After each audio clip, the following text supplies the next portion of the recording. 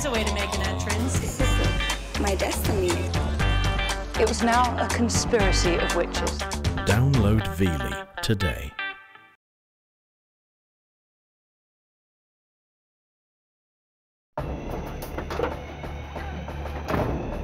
In the fall of 1995, a serial killer was on the loose.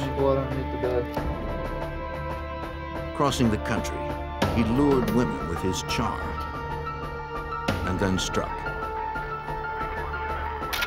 Each time, he vanished before police could catch him.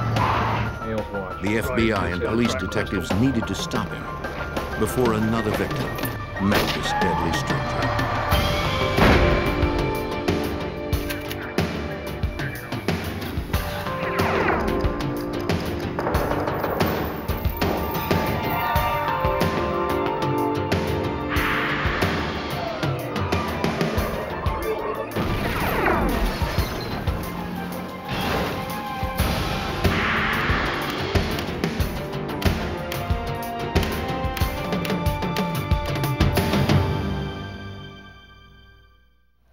Body of a young woman found burned in a truck launched a manhunt to find her killer.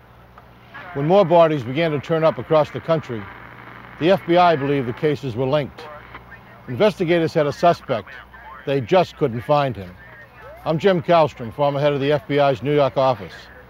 Agents would enlist the help of local law enforcement and even long-haul truckers to stop a cross-country killer.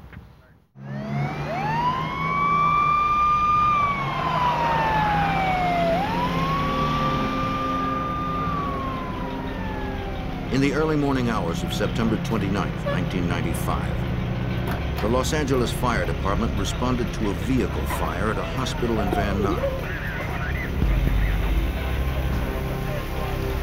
They found a pickup truck burning in the parking lot.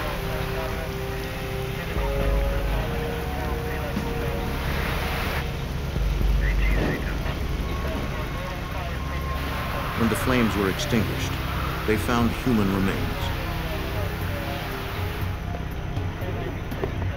Firemen contacted the Arson and Homicide Division of the Los Angeles Police Department. Homicide detectives responded to the scene and were briefed by uniformed officers already there.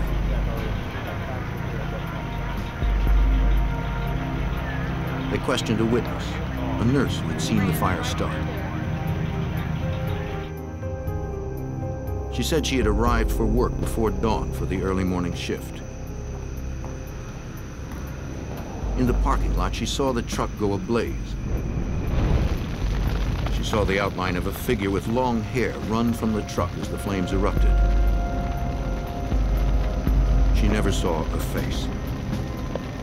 And she had never seen the truck before.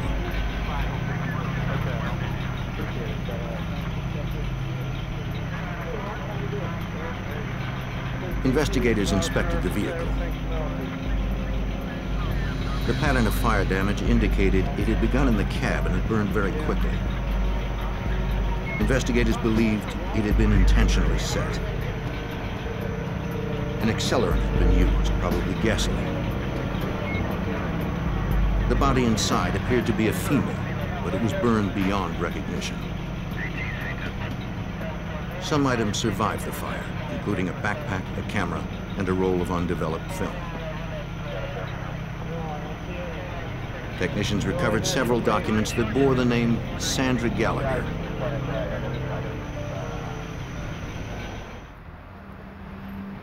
By sunrise, detectives at LAPD's Van Nuys station had run the truck's plates.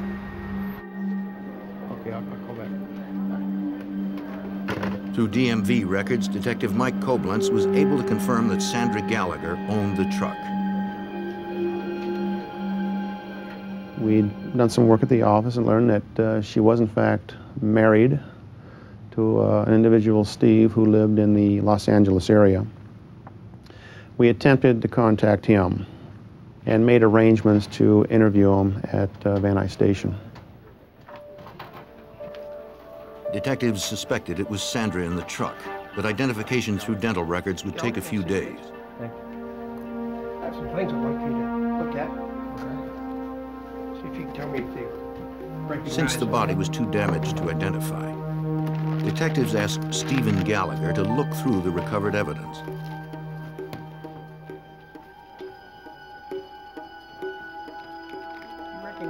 He said the backpack, camera, and other items were Sandra's. Uh, the police department had developed a roll of film which survived the fire. Stephen identified his wife in the pictures. Most married homicide victims are killed by their husbands. We were having a few problems. Detectives asked Stephen about his relationship with Sandra. There's a lot of domestic violence, spousal abuse that goes on, so it's, it's, it's just a, a, a direction to go to initially. In our case, as it related to Sandra Gallagher, Uh, once again, we wanted to eliminate the husband as a suspect and determine a little bit more about our victim, Sandra. Stephen said he had seen his wife on September 28th, the day before the truck fire.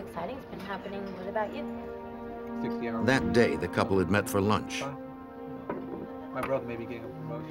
He and Sandra were experiencing marital problems, and they had spent the last couple of nights apart. He should know, I would say, week after next. They had talked about reconciling. Who's that guy uh, I saw at the bar with the other night? big guy in the leather jacket? But things were still strained between them That's none of your business, okay? What was your relationship? Stephen told detectives he last saw Sandra around 2 p.m., though he heard from his wife later that evening.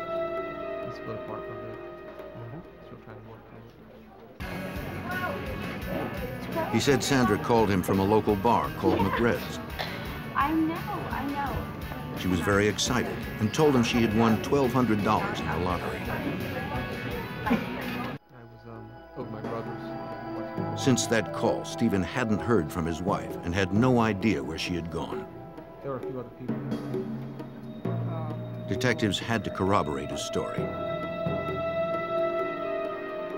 Once she mentioned the bar McRed's, that was our direction. We wanted to get in there, find out who was the bartender, who the owner was, who was there that particular evening, and who could identify some photos of Sandra that we'd gathered from the truck. LAPD detectives visited the bar.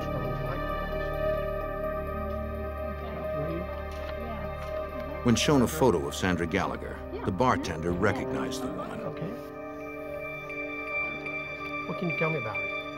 She, she knew her by her nickname, Sam. Had a lottery ticket. Hey.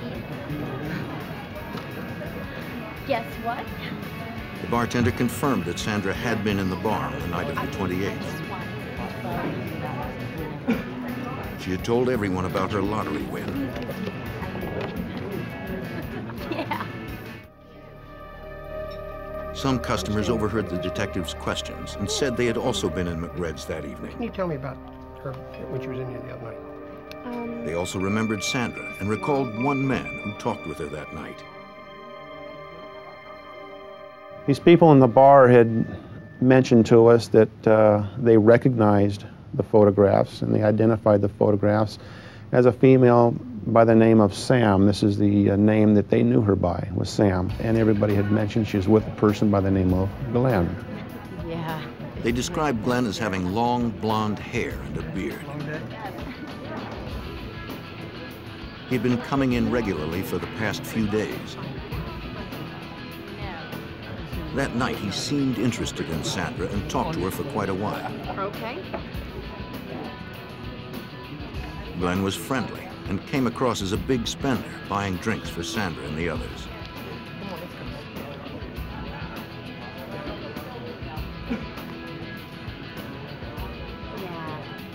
When the bar closed, Glen had asked Sandra for a ride home. He said he lived nearby. She agreed to drop him off, and they left together. The customers hadn't seen Glen since that night. Yeah, she took him home. Do you know where he lives? They believed Glen's last name was Rogers, but they weren't sure. Their description of him matched the one of the man seen fleeing the burning truck. If you think of anything else, please call me. Detective Koblenz would check the lead. Through department sources, we're able to identify Glen Rogers as a resident in the Van Nuys area. And we're able to obtain photographs of Mr. Rogers. These photographs, in the next day or two, were shown to various witnesses at the bar in the form of a photo lineup. And Mr. Rogers was identified in this photo lineup as the person being at McRed's with Sandra Gallagher. Detectives secured a search warrant for Rogers' apartment. It was only a few minutes away from where the truck had been burned. LAPD, search warrant! They didn't know if Rogers was inside, perhaps with a weapon. Uniformed officers entered first to clear the apartment. Rogers wasn't there.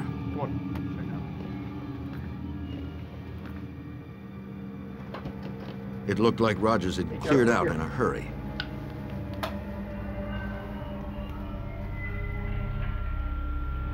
Detectives recovered a purse in the woman's wallet. It was empty of cash and held no ID. No identification. They also found a woman's earring.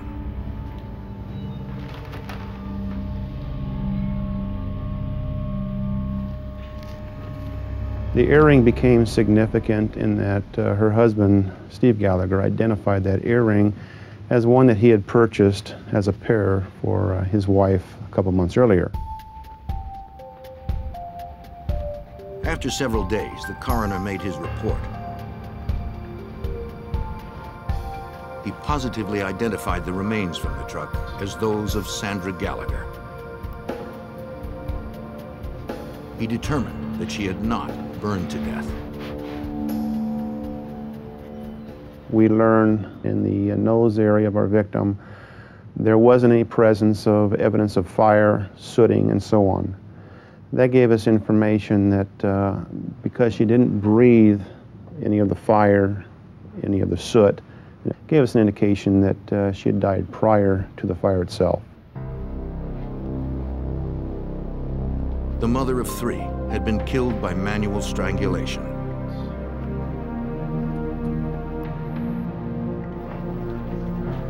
Los Angeles detectives charged Glen Rogers with Sandra Gallagher's murder and issued a warrant for his arrest.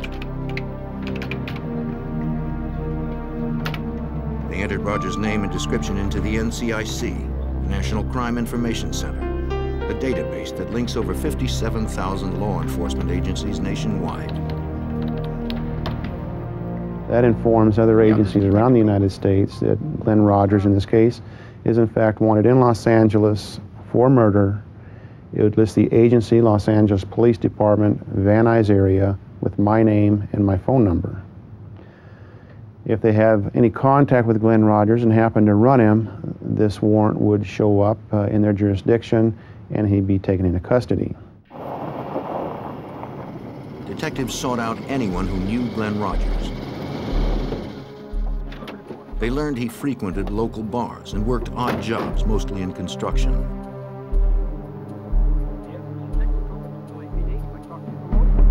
They visited several job sites, interviewing his friends and co-workers. Through witnesses and friends, we learned that Glen uh, did have a temper and that when he drank, he did become enraged. There was domestic uh, violence involved with uh, former girlfriends. So we knew we were dealing with someone who could become violent and generally violent when he drank, as it was in our case with Sandra Gallagher.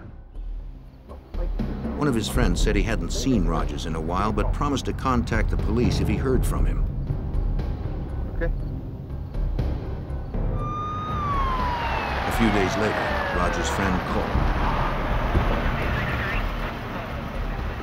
He said Rogers had phoned him from a motel outside Jackson, Mississippi. Local police talked to the motel manager, who told them Rogers' room number.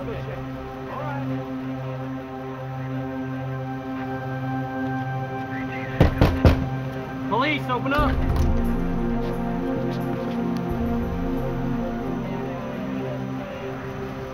The room was empty. The murder suspect was on the run. In the fall of 1995, the search continued for Glen Rogers. Police believed he fled California after killing a woman there on September 28th. A tip led to a Mississippi motel, but Rogers had disappeared before police arrived. Police issued an APB locally. They hoped someone would spot the suspected killer before he left the area. Days later, on November 3, 1995, Jackson, Mississippi detectives responded to a murder. Family members had found Linda Price dead in her bathtub. The 34-year-old single mother had been stabbed repeatedly and her throat had been slashed. Investigators searched the apartment for evidence.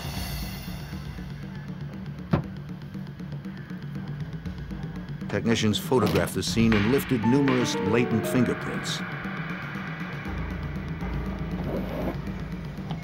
They found no murder weapon.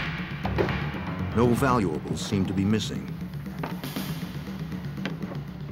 There was no apparent forced entry, and the killer had locked the door when leaving. The details of the crime scene led Jackson homicide detectives to conclude Linda Price had been killed by someone she knew. In the morning, they interviewed her mother. Perhaps she knew the killer as well.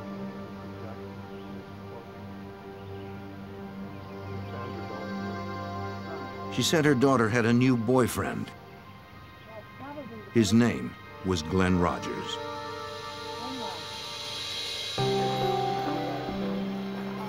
A month earlier, on October 3rd, Linda had met Rogers at the Mississippi State Fair where he had been working. He was charming, and Linda fell for him right away. They soon yeah. rented an apartment and moved in together. At first, Linda seemed happier than ever. But recently, she wondered if she'd made a mistake. She told her mother that Rogers had a bad temper and she feared his mood swings. When Linda stopped calling and didn't answer her apartment door, her mother believed that Rogers had harmed her.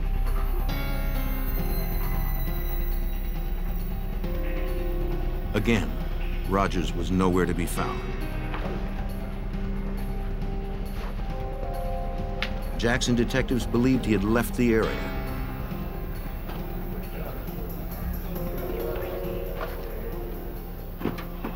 They entered his name into the NCIC database.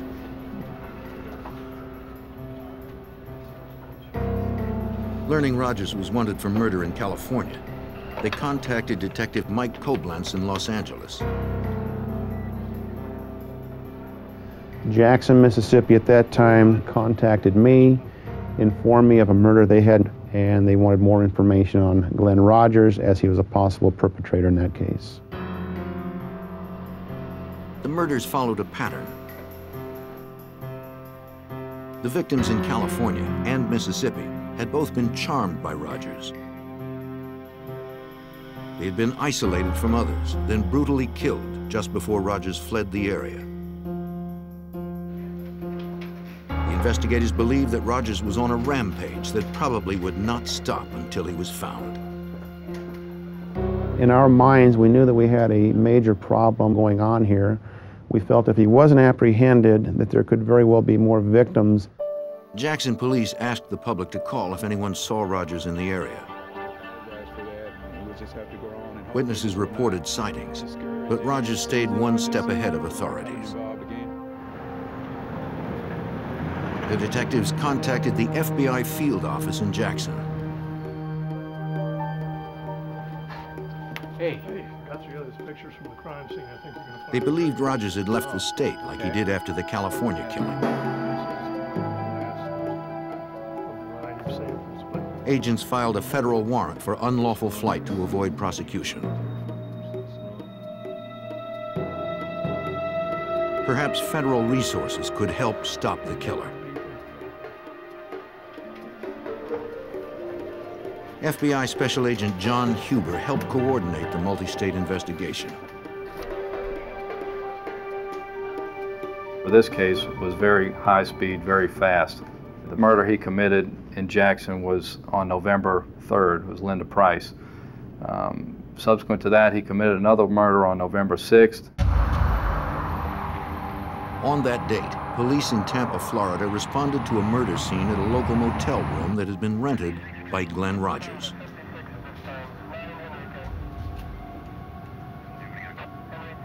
Like Linda Price, the young woman lay dead in the bathtub, stabbed in the back, chest, and wrist.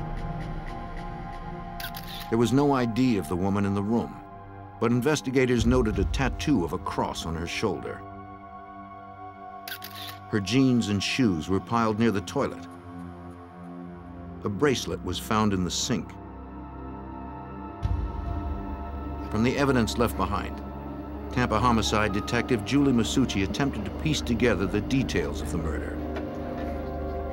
When we removed the clothing, it appeared that she had been stabbed through the clothing, which means that she was never undressed. Um, and it was from the rear portion, which appeared that someone might have come up behind her and stabbed her. The shoes had blood spots on the top, indicating she had them on and was standing when she was attacked. Under her body was a man's watch. Investigators believed it belonged to the killer. It was significant that she was placed in a bathtub and that it appeared that someone tried to clean up any evidence that they left behind. We had found towels to indicate someone had wiped up blood off of a floor. Um, it appeared that the bathtub water had been run to try and clean up any evidence that was left behind. The detective interviewed the housekeeper who discovered the body. That morning, she had been making her daily rounds just after checkout time.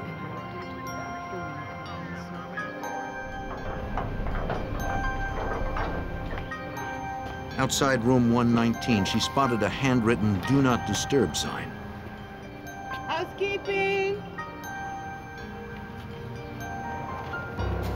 She said she didn't clean the room the day before because she saw the sign and wanted to respect the privacy of the people staying there. On this day, the occupants were scheduled to have checked out.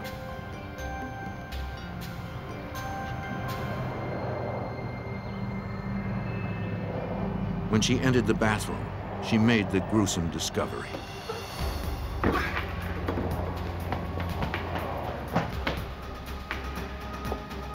Detectives asked the motel manager if she knew about the people staying in room 119.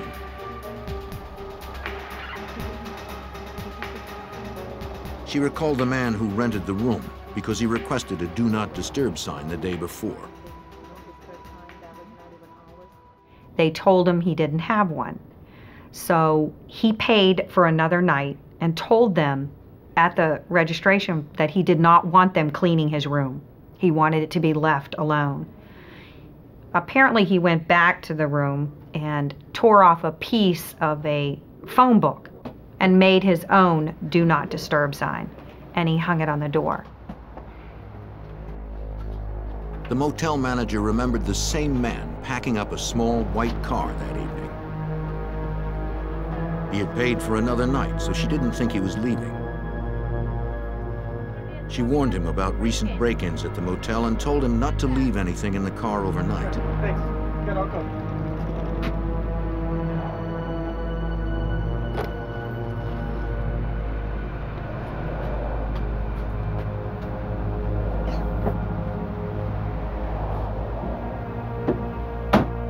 The detectives checked the office records, finding the registration card for room 119. It had Glen Rogers' name and signature on it. Technicians would later recover prints matching Rogers from the card. Detective Masucci ran a computer check and saw the California and Mississippi murder warrants. She contacted the other agencies and the FBI. Then we started to realize very quickly into the investigation that there was a possibility that this man, Mr. Glen Rogers, was a serial killer. The investigators knew who the killer was, but Tampa detectives still had not identified the female victim. She remained at the morgue as Jane Doe. If they could identify her, it might help them find the man who had killed her and at least two others. In the fall of 1995, after linking murders in California, Mississippi, and Florida to one man, the FBI and local detectives searched for accused serial killer Glen Rogers. The latest victim had been found in a Tampa motel room. She was still unidentified. Responding to media coverage, a woman whose daughter had been missing for two days came forward.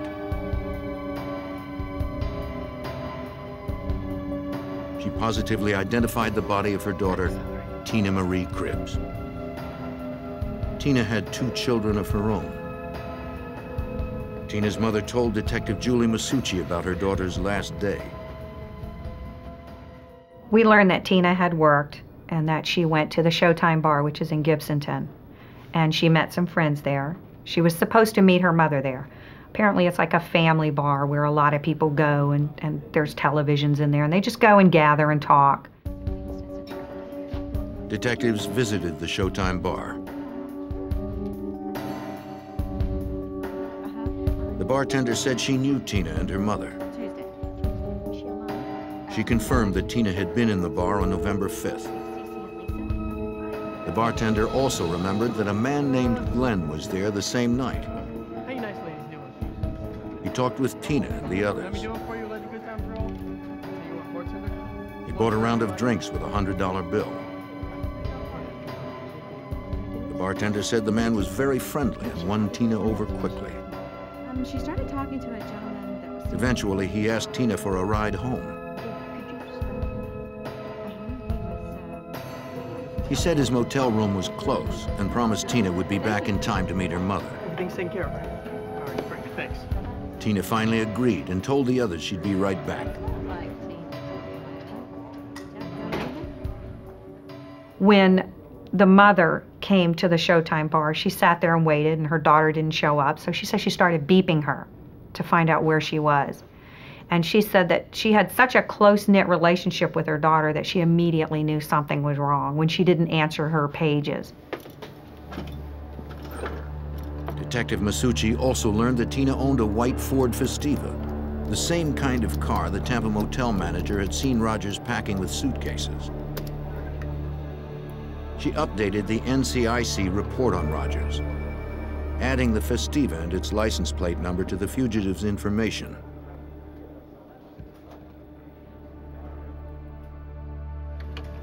FBI Special Agent John Huber was surprised that Rogers wasn't trying to conceal himself. Glen Rogers seemed to not care if he would get caught or had no fear of the law. He would always use his real name when dealing with people and checking into motels. He would drive cars that weren't stolen, either belonged to the to the victim, which he could easily be linked to, or his own vehicle. Uh, he was a he didn't seem to care if people knew what was happening, he wasn't trying to hide.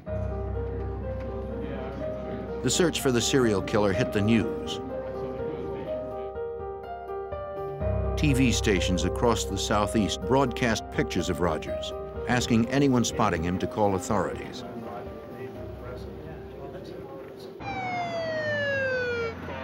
Hundreds of leads poured into the FBI. One promising tip came from a Jackson, Mississippi motel. Two separate callers claimed to have seen Rogers there. Rogers had been in Jackson previously and was known to frequent small motels. We uh, set up a perimeter around the hotel and then we had an entry team go up to the door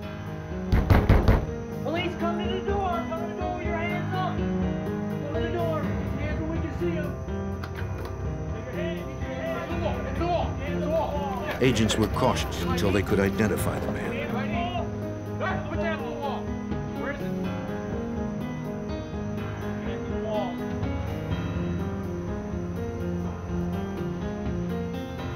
We identified the person that resembled Rogers and determined that it was not him. We then later searched the entire hotel and began searching the hotels in the immediate vicinity, but uh, didn't find him.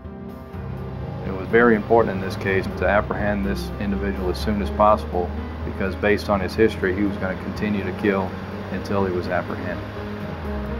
Authorities were desperate to stop him. The serial killer was out there somewhere, and it was likely that he was searching for his next victim. In the fall of 1995, suspected serial killer Glen Rogers had been last seen in Florida. The FBI believed he had murdered a woman there after killing women in California and Mississippi. The FBI soon learned that Louisiana had been his next stop. On November 10, 1995, Andy Sutton, the mother of four, was found murdered in her Bossier City, Louisiana apartment. Like two others, she had multiple stab wounds to her upper body and back. The Bossier City detective questioned the victim's roommate and former boyfriend. Nine o'clock. Was there anyone present? Andy's roommate was a waitress and had worked late the night before Andy was killed. Went in together.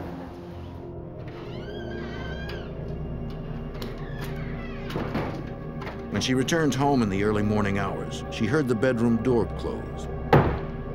She assumed it was Andy and her new boyfriend, Glen Rogers, in the apartment's one bedroom. Blankets had been left on the couch, and so she slept there.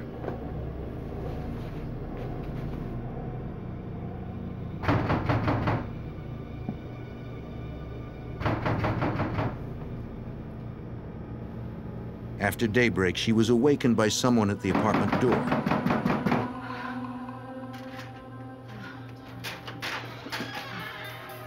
Would you tell Andy I'm here? It was Andy's ex-boyfriend.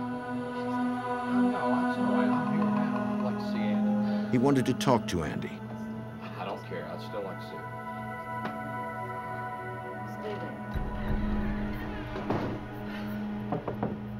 Andy? Andy? In the room, she found Andy's body under the sheet. She told detectives Andy had met Glen Rogers in a bar. They had been dating for only a few days. Neighbors had seen Rogers leave in a white Festiva. Bossier City detectives ran Rogers' name through the NCIC and saw the three other murder warrants. They contacted the other police agencies and the FBI. Hey, Los Angeles faxed a photo of Rogers to be used in the local investigation.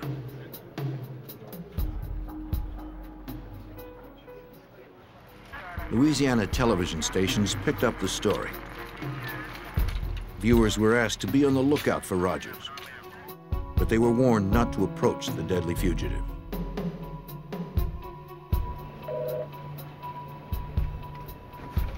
Special Agent John Huber and the other investigators were frustrated. Rogers was killing people faster than we could investigate where he where he was. Uh, it was just a, a kind of a time game, and he was killing people faster than we could apprehend him. Hey guys, look The FBI and local detectives believed Rogers murdered four women in six weeks. You starting to move? After each killing, Rogers had fled the state. The locations he chose were random. Let's try to focus in. Let's try to focus in over here. Start Despite their best efforts, investigators couldn't keep up. They needed to spread the description of Rogers and his vehicle across the country. Uh, let's start off with left. Agents sent requests to truckers over their CBs to be on the lookout for a white Ford Festiva. They posted wanted flyers in truck stops and rest areas. We're not really sure where he's going next that's why, uh, they held press conferences to get Rogers' photo out to the public. And Gallagher will pass some of this out. They wanted to warn potential what we do know victims is, and uh, hoped someone would spot the killer. we have already. Through the media, agents released details of Rogers' MO for finding victims and the route he traveled. The FBI began the process of adding Rogers to their 10 most wanted list. 1996. Uh, at the rear of a convalescent Getting someone on the 10 most wanted list increases the amount of resources that the Bureau puts into a case. It also uh, increases the amount of media attention that's also uh, worked into a case. The tips began to increase. One caller claimed Glen Rogers was at a pool hall in Mississippi. Two agents responded.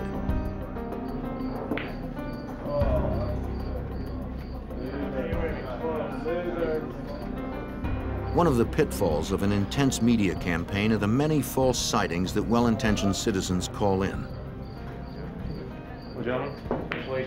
The man in the bar was obviously not Rogers. What's going on here? You have ID? The investigators tried to predict Rogers' next move and focus their search. Special Agent Huber had worked plenty of fugitive cases. A lot of times in fugitive investigations, when people are in trouble, they'll go to areas that they're familiar with or, or associates or friends. In this particular case, Rogers' family and friends were mostly located in the Kentucky area, and that's where a lot of our resources were focused. Authorities in Kentucky received priority teletypes about the fugitive. Kentucky State Police Detective Bob Stevens was already familiar with the name Glen Rogers. In fact, he'd been looking for him for almost two years. Rogers was wanted for questioning in the disappearance and possible murder of his housemate, 71-year-old Mark Peters.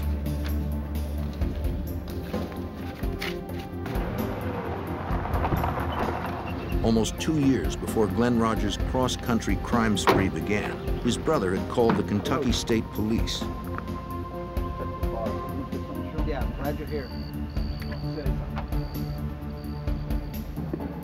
Body had been found inside his family's cabin.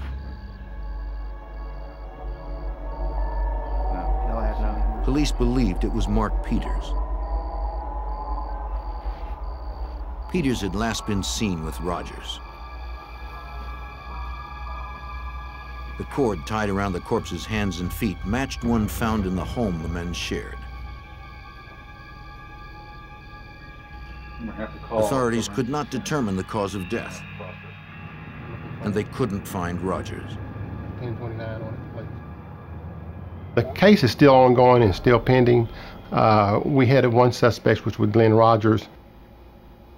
We weren't able to track Rogers real well uh, due to the fact that he traveled by uh, Greyhound bus, by tractor trailer, uh, cars. It was hard for us to track him. Uh, so we had a hard time trying to know where his next step was. Still, the investigative focus in Kentucky paid off.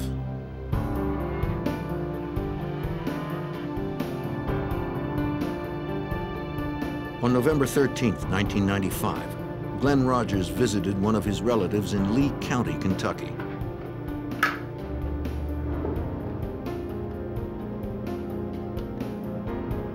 When he left, she called the Kentucky State Police. Hi, I think you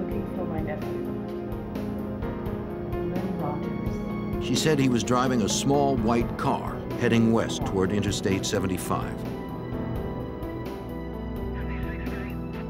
When Detective Stevens heard that Rogers was sighted nearby, he set up on the road he believed Rogers would take to I-75.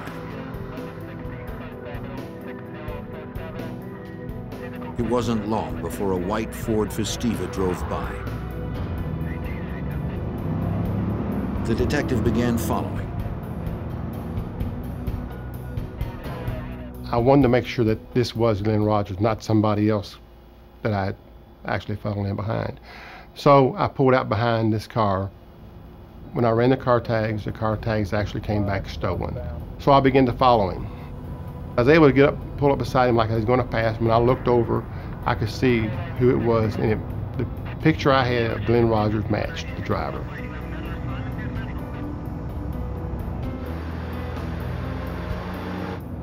The detective requested backup. A local police officer was parked nearby.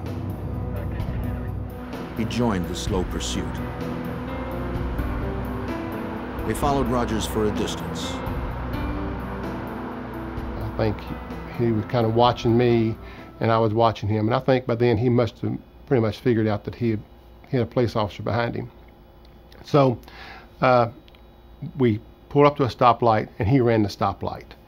Uh, and pretty much ran some people off the road as he was going through a, the stoplight. I fell in behind him at that time and activated my emergency equipment.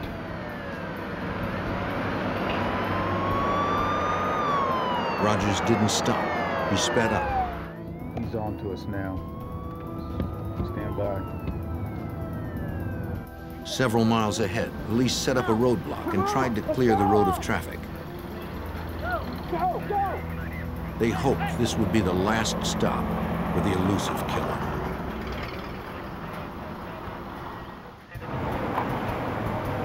On November 13, 1995, Kentucky State Police set up a roadblock in an effort to apprehend suspected serial killer Glen Rogers. Armed officers waited at the roadblock. Shoot his tires! Shoot his tires! They fired at his tires, but they didn't stop the killer. Detective Bob Stevens was close behind. We followed him down the road. Uh, he had run several cars off the highway, ran a school bus off the highway. He was driving on the wrong side of the highway. And so it was determined that he had to be stopped. Sergeant Barnes was able to get up the other side of him. And when he came back, he tapped him, spun him out of the highway, off the highway into a ditch. They didn't know if the fugitive was armed. When I first approached the car, and I was one of the first ones to approach the car, uh, you could see that he, he looked very uh, upset, very um, aggravated that he was in the custody. He was um, very defiant and just didn't want to be taken into custody at that time.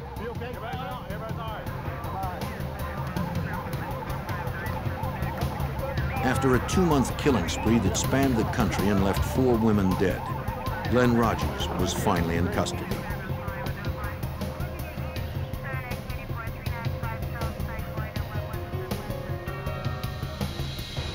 The vehicle identification number of the white Festiva confirmed the car belonged to Tina Marie Cribbs, the victim in Florida.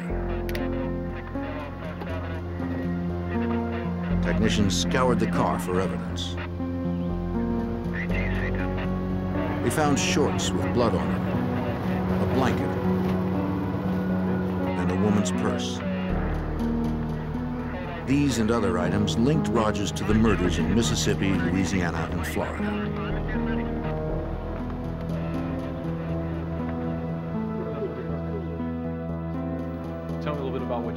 The FBI served as the clearinghouse for the evidence. FBI agents and detectives from five states met in Kentucky to outline the case.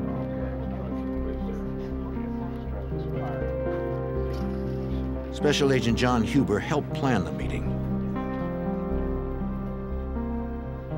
What they did do was put together all the information that everyone had, share information, and also that the FBI laboratory would process all the evidence in this case so that one agency would have custody of all the evidence and do the analysis.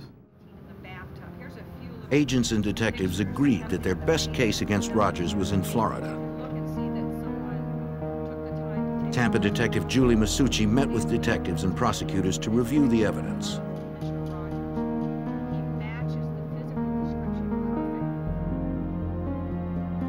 They believe the watch found in the tub with the victim belonged to Rogers. A photograph of Rogers with Mississippi victim Linda Price revealed he wore that type of watch. Detective Masucci was confident in her case due to the physical evidence implicating Rogers. We had Tina Cribbs' car that he was apprehended in. We had some shorts that belonged to him that had some of T Tina Cribbs' DNA on them. The registration slip that Mr. Rogers signed himself, fingerprints that were found inside of motel room number 119 where the victim was found, and miscellaneous items that were found inside of the car when he was apprehended. On July 11, 1997, almost two years after the murder of Tina Marie Cribbs in a Tampa motel room, Glen Rogers was convicted of first-degree murder and later sentenced to death in Florida.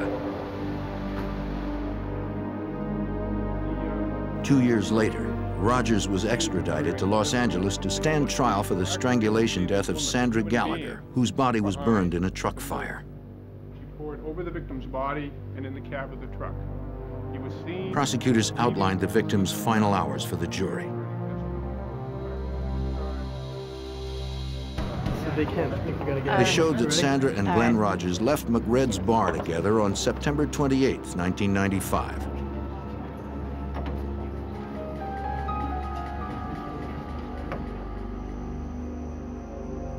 At some point, there was a struggle, perhaps as Rogers made an unwanted sexual advance.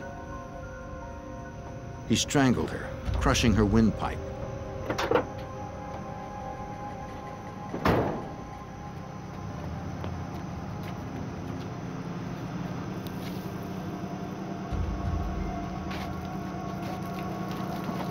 Attempting to destroy evidence, Rogers doused Sandra's body in the truck with gasoline and set it ablaze.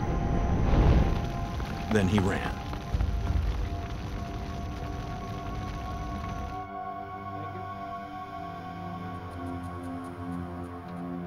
On July 16, 1999, a jury again found Glen Rogers guilty of murder.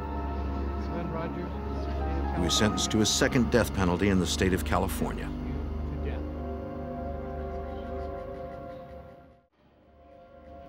Los Angeles detective Mike Koblenz was impressed by the nationwide partnership of everyone involved in the hunt for Rogers. That's really what made this case come together was the uh, interagency cooperation, and, and not just in Los Angeles, but in Jackson, Mississippi, Tampa, Florida, and later uh, Bossier City, Louisiana, the FBI, the press, the different news agencies that were able to get the information out we truly worked together on this and, and, it came to a successful conclusion down the road. Since Glen Rogers already had two death sentences, Louisiana and Mississippi prosecutors decided to spare the families of the victims emotional trials. Glen Rogers left at least 11 children without mothers.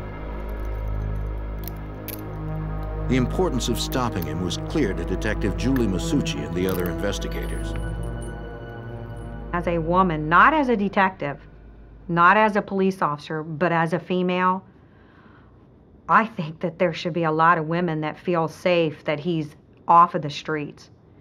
He had no regard for human life.